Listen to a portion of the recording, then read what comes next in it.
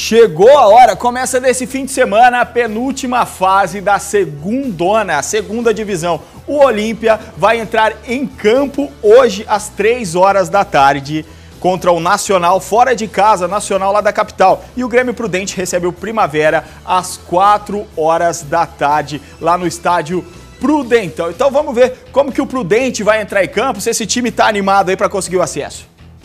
A princípio, o dever de casa foi bem feito. Mesmo chegando à última etapa da segundona com certa dificuldade, a palavra agora é superação. Na conversa do técnico com os jogadores antes do treino, China ressaltou a importância da motivação do elenco. Nós temos uma equipe mais experiente, mais amadurecida, né?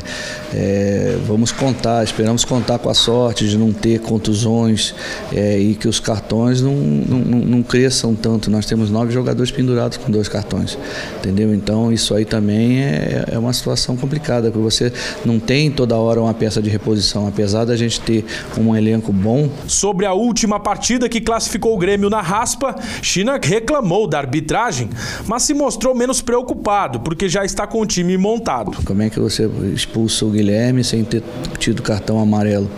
É, parece engraçado, coincidência, né? Jogador que já é rodado, jogador experiente, mas tudo bem. Novidade para a próxima partida é a volta de Felipe, que estava fora por causa de uma contusão. Agora o caminho para o acesso está bem curto. Das seis partidas que o Grêmio tem pela frente nesta última fase, conquistar resultados positivos. Em pelo menos metade delas é fundamental. Se isso se concretizar, será a volta de um time prudentino à primeira primeira divisão do Paulista, depois de sete anos. Levar o Grêmio ao acesso é uma responsabilidade tanto. Ansiedade e nervosismo que já foram superados. Agora tem que fazer bonito dentro de casa e melhor, fazer bem feito o dever de casa. Eu creio que a equipe do Grêmio Prudente está bem preparada para essa fase final. Nós tivemos esse deslize aí na, nessa terceira fase, mas eu creio que o time está focado e vai fazer uma boa campanha nessa quarta fase. Que venha o acesso. Que venha o acesso. E você vai ver agora a nova invenção maluca do inventor do biribol. Vamos ver.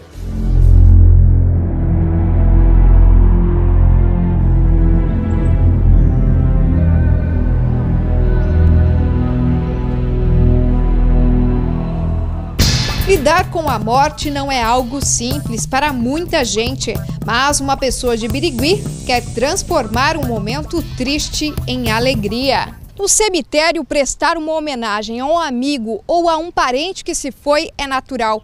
Mas o inventor do biribol decidiu ir mais além. Mandou construir um monumento que simboliza o esporte no túmulo que está reservado para ele. O meu túmulo não é um túmulo para curtir tristeza. Eu quero que todos venham para curtir as alegrias que o Biribol está oferecendo e vai oferecer eternamente. A família não aprovou a ideia no início, mas acabou se acostumando.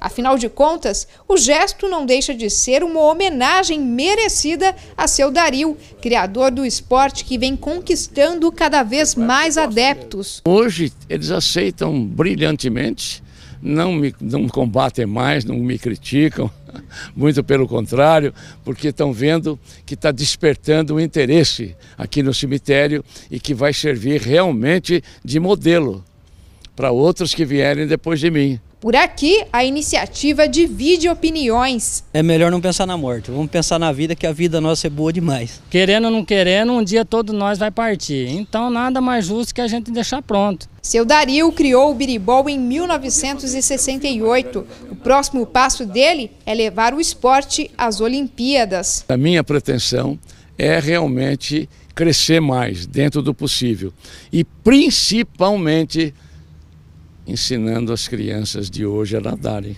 E não importa o dia ou a hora, em Birigui sempre tem alguém praticando o esporte. Nesta turma que se reúne semanalmente para treinar, tem atletas que representam diferentes cidades em competições de biribol. Começamos a brincar de biribol, gostamos do que estavam fazendo e hoje a gente joga no, brasileiro. A gente joga para o Votuporanga, hoje a gente é tricampeão regionais e bicampeões abertos. Mês que vem, se Deus quiser, vamos ser tri de novo nos abertos e estamos treinando para isso. Comecei a praticar o biribol devido o futebol é um esporte de muito contato e a nossa região ser uma região muito quente, então eu optei por jogar o biribol por ser um esporte aquático, né? um esporte dentro d'água e um esporte com muita pouca lesão. Apesar da ideia do monumento no túmulo não ser 100% apoiada, o biribol aqui é motivo de orgulho para todos. O Dario está eternizando um esporte que ele criou, um esporte que é 100% brasileiro, né, digamos assim. E eu acho que o túmulo do Dario vai ser um monumento para a região. Com certeza absoluta, nós vamos estar no mundo inteiro praticando o esporte brasileiro, nascido no estado de São Paulo, nascido no Brasil, no estado de São Paulo, na cidade de Birigui. Acabou ligado, tchau!